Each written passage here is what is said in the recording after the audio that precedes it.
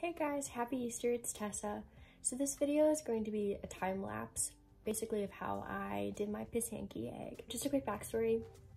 I'm Ukrainian, my great-grandmother immigrated from Ukraine to America, and my mom and my grandmother are both pretty fluent in Ukrainian. I unfortunately am not.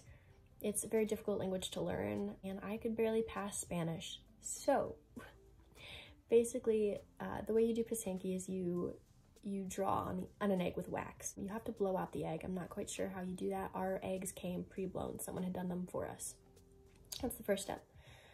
Second, you need these little like wax tools. Uh, they You can get them in a kit, but basically you put wax in these little tools and then you, you heat them up with like a little candle and you draw on the egg with wax.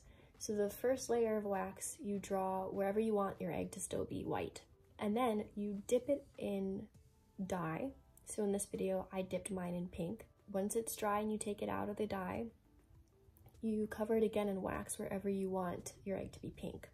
So basically the wax is protecting the color, sort of like normal Easter egg dyeing, but a little bit fancier. You dip it again in your final color. Mine, I chose black. So once the pink was covered with wax, I dyed the rest in black. And then once your egg is completely covered in wax, you put it over a fire, like a flame, and the wax kind of melts off and you can just wipe it off with a towel. My line work is very sloppy, so if you're someone who's bothered by uneven lines, please don't watch this because I didn't have a ruler, I was just freehanding it.